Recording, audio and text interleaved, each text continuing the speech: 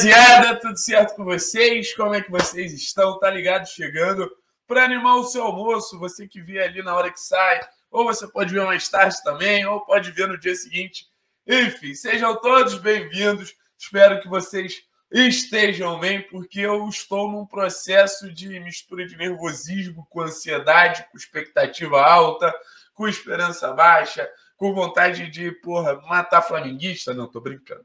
Torcida do Flamengo, todo respeito a vocês, todo respeito a uma torcida que é realmente muito forte quando está ali no estádio, respeito ao time do Flamengo, que mesmo com os desfalques também é um time muito forte, mas a gente está aqui para falar de um reencontro, um reencontro muito simbólico, um reencontro para os supersticiosos, muito importante, que é o encontro do jornalista Mário Filho com o Atlético Paranaense. Aí vocês vão me perguntar, pô, Thiago, quem é jornalista Mário Filho?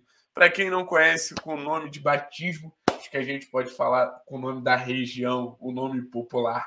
É o famoso Maracanã. torcedor do Atlético sabe que o Maracanã faz parte da história recente do clube, né? Até falando de derrotas. De 2013, torcida do Atlético vem para o Maracanã e faz uma festa muito bonita, enche seu setor, em alguns momentos até se sobressai a torcida do Flamengo ali naquela disputa de, de título da Copa do Brasil, mas nos momentos vitoriosos o Maracanã volta a aparecer de maneira sintosa na, na história do Atlético. Né? 2018 a gente sabe que foi é, um momento ali de inaugurar esse período de títulos. Espero que 2021 também fique marcado na história como um dos anos que o Atlético consiga ganhar alguma coisa, mas 2018 foi a semifinal de Sul-Americana, né? Se vocês não lembram, teve isso aqui de torcedor no Maracanã, não é pouca coisa não, gente.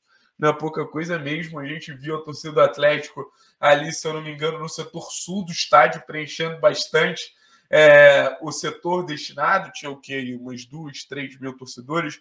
Ou eu estou exagerando? Acho que é por aí, sim. Aí você vê a faixa da Fanáticos, você vê a faixa da Ultras, inclusive o pessoal da Fanáticos que fez aniversário essa semana. Um forte abraço, mas mostra assim como torcedor do Atlético já entendeu que o Maracanã é um lugarzinho especial. Cada vez mais eu descubro, descubro torcedores do Atlético no Rio de Janeiro. Mandar um abraço para o pessoal da Embaixada, para o Thiago Dupin. Aí a gente ainda teve no final do jogo, depois de uma atuação muito boa do Atlético, os jogadores indo comemorar com a torcida.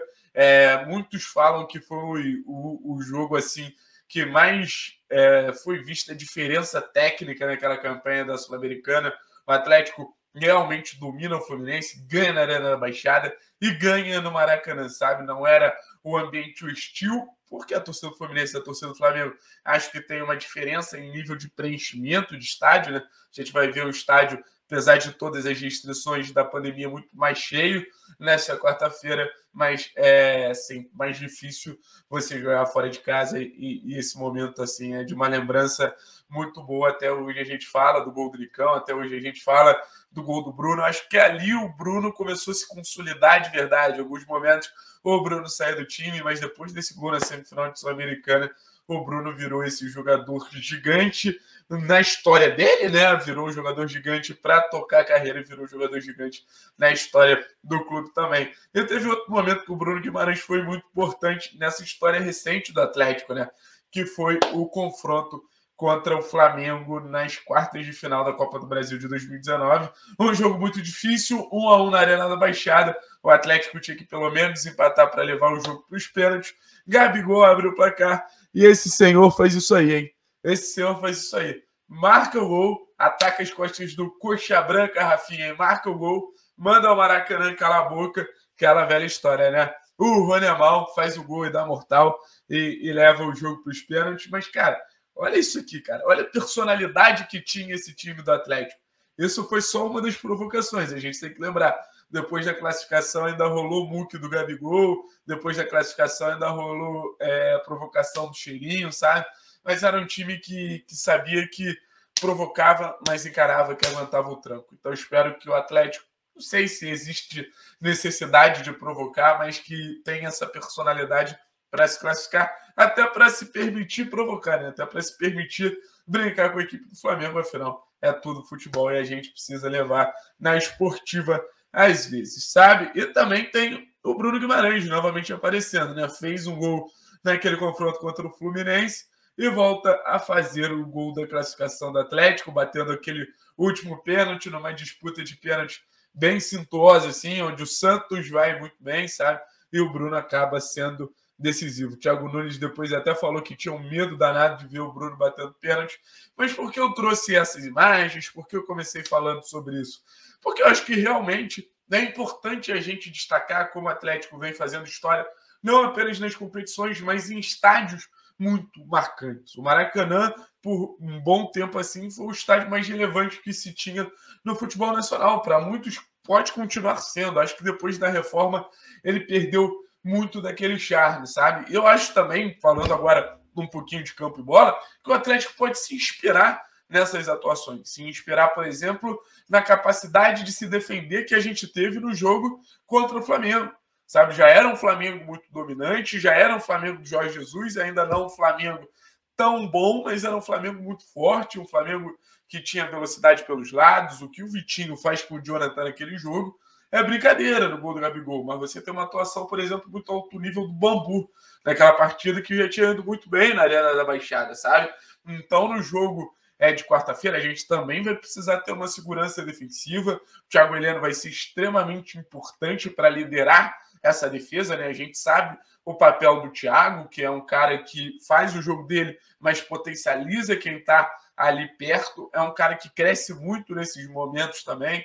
Então, são vários fatores assim para a gente destacar. É, o Santos também é um goleiro muito decisivo. A gente sabe como o Santos cresce, inclusive já cresceu no Maracanã. Espero que o Pedro Henrique esteja num dia tão bom como esteve no confronto da ida na Arena da Baixada. Foi um jogo bem acima da média do que o Pedro Henrique vem entregando, sabe? O próprio o próprio Nico Hernandes faz um jogo assim que a torcida do Atlético fica se perguntando: por que esse cara não joga mais? Porque taticamente foi perfeito e principalmente ali na hora dos confrontos acaba até tirando o Gabriel do jogo, né? E não foi só defensivamente que o Atlético foi muito bem na hora de ter o escape, sabe? Sei que a gente não tem um jogador da velocidade do Rony no elenco atual, mas é aquela jogada que é, começa com uma sustentada do Marco Ruber, o passe do Nazário, o ataque do Rafinha nas costas, do Rony nas costas do Rafinha, eu acho que, que é uma marca assim de, de contra-ataque ideal, assim como acontece o segundo gol né, contra o Fluminense, um contra-ataque muito bonito. Então o Atlético precisa ter mecanismos que consiga sair dessa defesa mais rápido para chegar ao gol do Flamengo, até porque o Flamengo é um time que vem sofrendo nessas transições defensivas, sabe? Então, como sair mais rápido? Acho que usar o Nicão como referência numa bola longa, afinal, é um cara que consegue segurar bem o jogo. O próprio Abner pode não ser o lateral mais veloz do mundo, mas tem certa velocidade. Eu acho que o time jogando curto, jogando menos espaçado possível, pode conseguir também uma troca de passes nesse processo de transição. O Citadini é bom nesse processo, o Eric é bom nesse processo, sabe? Então o contra-ataque vai ser muito importante. Eu acho também o momento de se impor, como a gente conseguiu se impor no Maracanã contra o Fluminense, trabalhando bem a bola, girando bem o jogo. Acho que os momentos que o Atlético conseguir valorizar essa posse de bola vão ser fundamentais no contexto geral para dar uma respirada e para atacar o Flamengo também. A gente viu no jogo de ida como é possível agredir o Flamengo e o Flamengo se sente suficientemente é, baqueado quando começa a ser agredido, né? Porque toma o primeiro gol, depois toma o segundo gol e o Atlético poderia ter mais chances se, por mentalmente, não tivesse existido um recuo ali. Acho que isso no jogador brasileiro vem ensinado da base, mas eu acho que, que beira o absurdo como é, a gente poderia ver é, o time continuando a atacar. Mas no final das contas, um vídeo muito gostoso de se fazer, com boas lembranças. Espero que vocês tenham gostado. E expectativa muito grande para o confronto de quarta-feira. Assim. É, eu juro que eu não pensei que a gente chegaria nesse segundo jogo com alguma chance, mas a gente está chegando, né, velho? Então não custa nada sonhar. Sonhar até onde eu sei é de graça, então a expectativa altíssima. Eu vou, vou ser bem sincero com vocês. Eu cresci na cidade do Flamengo, né? Eu pô, tenho mil amigos flamenguistas, todo lugar que eu vou tem flamenguista, pô. Pegar a camisa do Atlético no dia seguinte da gente eliminar os caras, até para sacanear o porteiro, até para sacanear qualquer pessoa, atendente do supermercado, vai ser a melhor coisa do mundo. Beleza, rapaziada? Tamo junto a nós, espero que tenham gostado do vídeo. Deixa um like aí.